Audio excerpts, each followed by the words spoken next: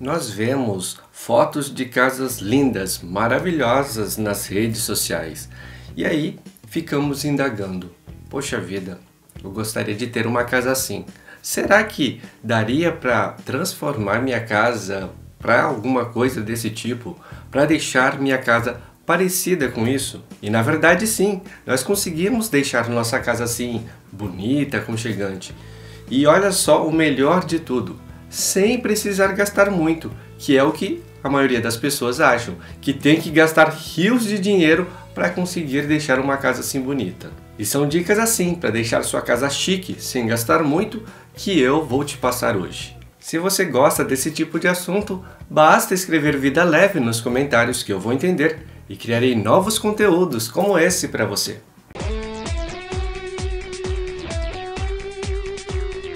Olá, tudo bem com você? Eu sou Roberto Quirizawa e como você sabe, eu escolhi o minimalismo como meu estilo de vida. Hoje vamos conversar sobre uma coisa que muitas pessoas me perguntam. Ao ver os vídeos em que eu falo de destralhe, que eu falo de organização, arrumação de casa, muitas vezes nós colocamos fotos, né, para colocar e ilustrar no vídeo. E as pessoas começam a questionar: poxa vida, eu não consigo deixar minha casa assim. Será que minimalismo é apenas para rico? Porque essas fotos, essas casas que são mostradas são casas muito bonitas. Isso daí parece ser coisa só para gente rica. E na verdade não é. Na verdade, nós temos que entender como harmonizar as coisas e gastando pouco nós conseguimos isso. Você vai ver aqui. E uma coisa muito importante que você tem que entender é que não precisa deixar sua casa exatamente igual às fotos, aos vídeos que inclusive vão estar aqui nesse conteúdo. O fato é que você tem que tirar inspiração para pegar detalhes e ir colocando dentro da sua casa de forma que fique harmônica, que fique bonito. E a primeira dica para você conseguir deixar sua parede bonita sem gastar muito, você pode optar por papéis de parede. Existem uma variedade enorme de papéis de parede, papéis de parede liso, com relevo, inclusive esse aqui atrás no cenário é um papel de parede com relevo, com relevo ali de tijolinhos brancos. Foi super simples de colocar, é fácil de manusear, não sai caro pensando que eu teria que raspar a parede, passar várias demãos de tinta para deixar a coisa do jeito que eu queria, ou se eu tivesse que comprar então tijolinhos para colocar na parede seria muito mais caro. Ficou um ambiente bem legal do jeito que eu esperava. E aqui no Japão, país onde eu estou passando uma temporada no momento, isso é muito comum. Inclusive, esse papel de parede aqui eu comprei em loja dessas como se fosse no Brasil de 1,99, aquelas lojinhas baratinhas. A gente comprou várias placas e colocamos aqui. A placa já é com um adesivo, ela já tem aquele adesivo atrás dela, então foi super simples de ir aplicando. A gente cortou, recortou, eu e minha esposa recortamos as placas para darem ali a junção certinha, né, no fim e no início da parede. E olha, foi bem tranquilo. Acho que gastamos aí meia hora para fazer isso. A segunda dica é quando você tem paredes brancas sem nada, muitas vezes você tem aquela sensação de que está faltando algo. Então, para preencher isso, para dar ali um pouco mais de aconchego, deixar uma coisa visual mais legal, que você vai se sentir num ambiente mais chique, você pode colocar um quadro. E aí você pensa no seguinte: o quadro tem que ter a proporção da parede. Se for uma parede bem grande, coloque um quadro grande. Se for uma parede pequena, coloque um quadro pequeno. Lembre-se que paredes brancas, que geralmente é o que a gente gosta, né? Minimalista geralmente tem a casa branca por vários fatores, como a claridade, né? Economiza na luz, inclusive também deixa o ambiente atemporal. Não precisa estar ali a todo momento trocando a tinta da parede porque a moda mudou, a cor da moda mudou. Então nas paredes brancas você pode colocar ali quadros com a moldura preta, porque daí dá um diferencial bem legal, dá um destaque no quadro. Não fica aquela coisa, sabe, na mesmice. Lembrando também de não colocar muitos quadros na parede, porque senão vai ficar uma coisa muito cheia, vai ficar muito pesado e inclusive vai gerar muita dor de cabeça para ficar tendo que tirar poeira, limpeza, manutenção, que é tudo que a gente não quer, principalmente no ambiente minimalista. A terceira dica é você utilizar como seu piso o cimento queimado. Ele é muito utilizado na decoração industrial, inclusive na Escandinava também pode ser utilizado que casa bem. O bom do cimento queimado é que você vai economizar um bom dinheiro. Ao invés de comprar piso, né, taco de madeira ou mesmo uma porcelana, porcelanato, você vai ali no momento de fazer o contrapiso pedir para preparar o contrapiso, o cimento ali, para fazer já o cimento queimado direto. Então vai ficar bem mais econômico e fica bem legal, fica bem bonito. Se você quiser deixar dar um toque ainda mais chique, né, para tua casa, você pode usar uma resina por cima, que daí vai ficar aquele cimento queimado brilhando, né, e dá um toque todo especial. Se você tem interesse nesse tipo de conteúdo, em ver o minimalismo de uma forma totalmente diferente, já curte o vídeo, se inscreve no canal e clica no sininho para me ajudar a espalhar a mensagem. A quarta dica é saber utilizar as paletas de cores, porque se você tiver uma casa toda colorida, a sala de uma cor, o quarto de outra cor, o banheiro de outra cor, pode ser que o ambiente não vai ficar muito harmônico, entende? Então, assim, é legal você utilizar paredes nas cores neutras. Eu aconselho o branco que é muito fácil né, de trabalhar, é uma cor atemporal, é uma cor ali que é bonita, ajuda na iluminação.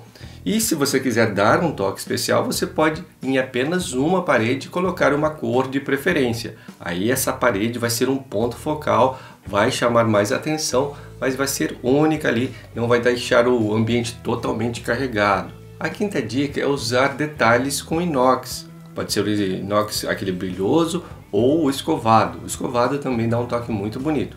Então você pode utilizar o inox em pernas de cadeira, em eletrodomésticos, o inox escovado fica bem legal.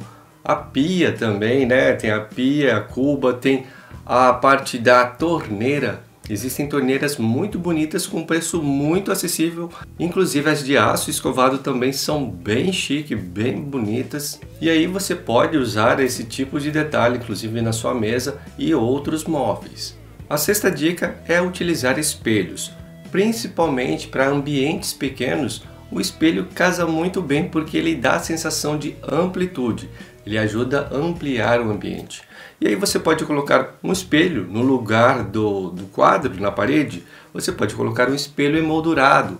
Ele dá aquela sensação de quadro e ainda ajuda na amplitude. Você também pode utilizar o espelho em lugares estratégicos, como em cima de um móvel, em cima de um aparador, que vai ficar bem legal. A sétima dica é utilizar vidro. O vidro também deixa o ambiente muito mais requintado.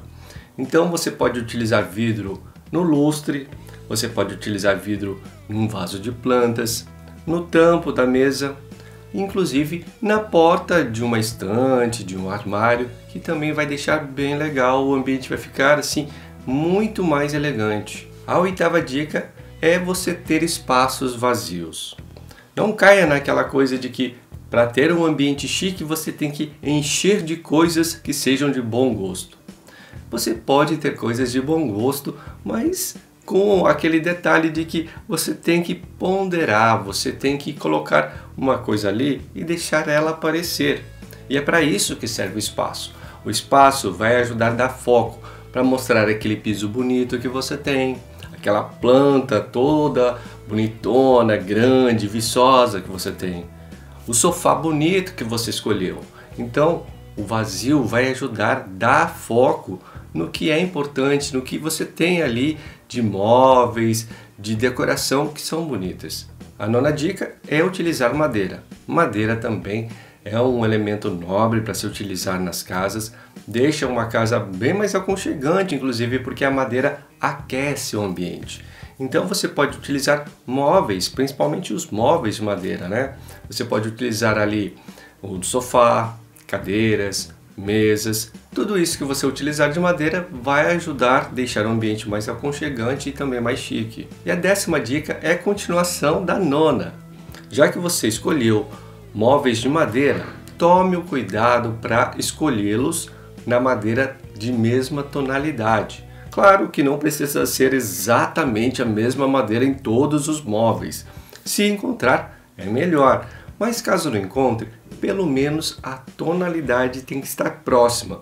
Para quando você ver o ambiente, sentir harmonia, sentir que foi um ambiente planejado, que não foi feito assim a esmo, foi escolhendo sem pensar em nada, sem pensar em ornar um com o outro e ficar aquela bagunça de cores.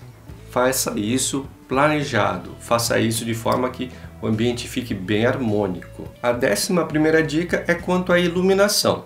E na parte da iluminação você tem que entender que ela pode ser central, focal ou decorativa. A central é aquela que realmente vai ficar no centro do ambiente e vai iluminar o ambiente como um todo. A focal é aquela iluminação que vai focalizar um determinado ponto. Por exemplo, você pode colocar uma iluminação ali em cima da mesa de jantar para ajudar ali na parte da alimentação, né, ficar ali mais visível, né, os alimentos, visível o que está se comendo, o que está se manipulando. Pode-se colocar uma lâmpada mais focal ali na parte de uma mesa de escritório para poder trabalhar de forma mais tranquila. E tem a decorativa, que são pontos, spots de luz que você vai querer ali fazer alguns detalhes, deixar o ambiente um pouco mais aconchegante.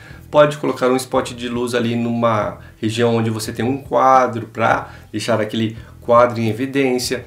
Pode colocar um spot de luz num canto ali do cômodo que você costuma colocar uma planta e aí deixa a planta em evidência. É para esse tipo de coisa que os spots, essas iluminações decorativas funcionam. Deixe também na parte de iluminação os interruptores separados. Não é aquele interruptor central que você ligou um, liga tudo. Você tem que deixar de forma que você consiga fazer a composição das luzes que vão acender. Em determinado momento, você pode deixar apenas, por exemplo, a luz focal sobre a mesa do jantar e também a decorativa. Vai ficar um ambiente bem aconchegante. Em outros momentos você pode deixar só a central, ou a central e a decorativa, e aí você vai podendo revisar de acordo com a sensação que você quer passar, de acordo com o seu humor. A décima segunda dica é quanto a cortinas. Principalmente em ambientes que tem uma janela muito pequenininha ali, a sensação que dá é meio claustrofóbica, né? que o ambiente está muito opressivo, muito pequeno. E se você pega esse ambiente com uma janelinha pequena, mas coloca uma cortina que cubra toda a parede dessa janela, vai dar a sensação de que o ambiente é muito maior, que a janela é muito maior. Então é uma ilusão de ótica que você cria e que ajuda bastante. Então a cortina quando ela cobre totalmente uma parede, ela dá a sensação de que existe ali por trás uma janela enorme. Caso a janela já seja grande o suficiente, Toma cuidado para a cortina cobrir toda a janela, passar ali uns 20 centímetros de cada lado, né? Da janela, para não ter risco da janela ficar exposta ali, né? O canto da janela. E também o pé da cortina, ela fique um pouco acima do chão apenas. Né? Não precisa estar ali raspando no chão, mas também não precisa estar muito alto ali alguns poucos centímetros acima do chão. E aí, quanto à cortina, você pode também escolher uma cor que te agrade. É um ponto que você pode escolher uma cor, né, que vai diferenciar do branco da parede. E o último detalhe da cortina é ter ali o véu da cortina e ter ali a parte do tecido mais pesado. Existem tecidos hoje em dia que são blackout. Antigamente o blackout era de um material mais pesado, mais rígido, né? Parecia até uma lona, mas hoje em dia os tecidos para blackout já estão bem mais finos, já estão bem mais bonitos e macios. Então você pode optar por isso para também te dar privacidade nos momentos que você queira, principalmente à noite, né, onde você não vai querer que as pessoas de fora consigam ver para dentro da sua casa. E aí, o que você achou dessas dicas? Aproveite para utilizá-las na sua casa. Não precisa utilizar todas elas, mas vai colocando aos poucos o que você acha interessante e com isso vai ajustando a sua casa para ficar com aquela cara de chique sem precisar gastar tanto. Se você achou que este conteúdo teve valor para você e pode ajudar alguém que você conheça, compartilhe como demonstração de carinho. Muito obrigado e até a próxima!